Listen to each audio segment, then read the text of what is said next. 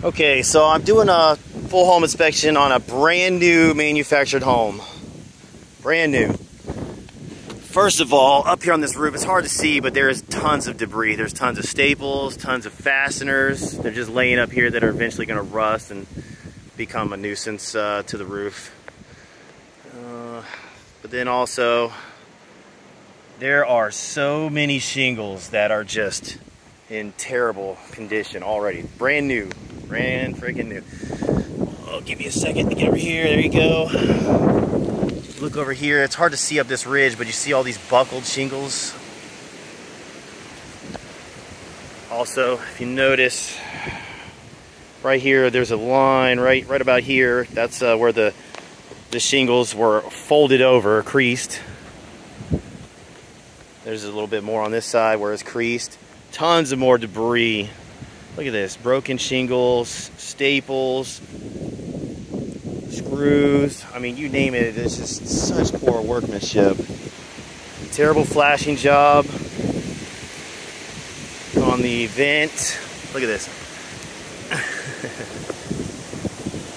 they didn't even lay the shingles down properly on the backside. Um, this one's not even that bad. There's one over there that's way worse. Let me see if I can get it real quick. Yeah, you can see the shingle sticking up right there. Oh, skylight. Uh, the way that it's the shingles are laying around it is questionable in my opinion. I've already sent pictures to my friend Eric at uh, Tampa Roof Repair. See what he thinks about it. Uh, one of my CrossFit buddies, really good guy. You can see where they just they're trying to pat patch it up. I don't know if you can see the sealant uh, right here on this shingle where it probably wasn't laying properly so they're just trying to make it look decent however they can so they can move on to the next job and do a shitty job on their roof as well.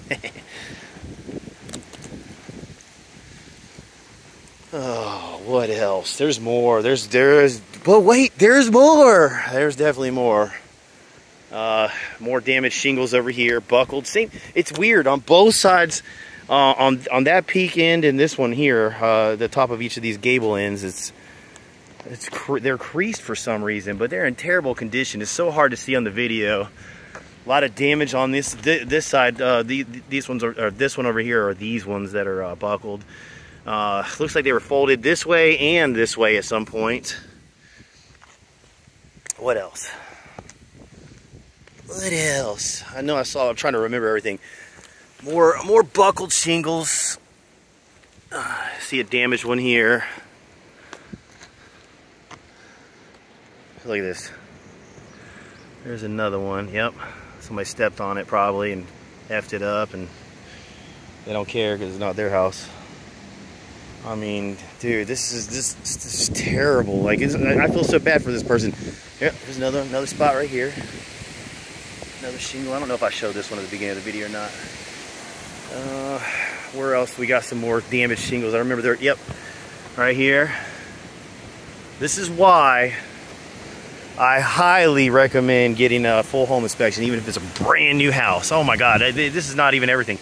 Look at this, so they, they put the sealant on the uh, fasteners here. They just did a shit job on it. There's another one up here that I found that's like barely even sealed. maybe it's that one. I don't know. Plus the sealant, this stuff cracks. You see how it's already cracking? Sorry. You can already see how it's cracking already, and this thing's new. It won't take it long. The sun, the sun is just hell in Florida. Lot of these shingles are lifting.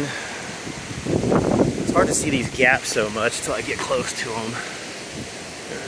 You know, look, I get it, they're ridge shingles, and sometimes they're kind of hard to get to lay, but it's I've been inspecting long enough. I can see when a roof is just kind of trash. But yep, yeah. in all its glory. Oh, and then of course, on top of that, these are three tab shingles. Uh, they're like the cheapest shingles in Florida. They don't last that long. You got to remember too, this is a manufactured home. A typical shingle roof, Florida, 20 years of life. Um, I've noticed over the years just by doing estimates and stuff and how old roofs actually are that typically on a manufactured home you get closer to 17 15 to 17 years. Uh, so you're already losing five or five, three to five years of life on a manufactured home roof. Why? There is no ventilation. There's nothing to let all that hot ass air escape from the attic, so it just bakes the shingles even more.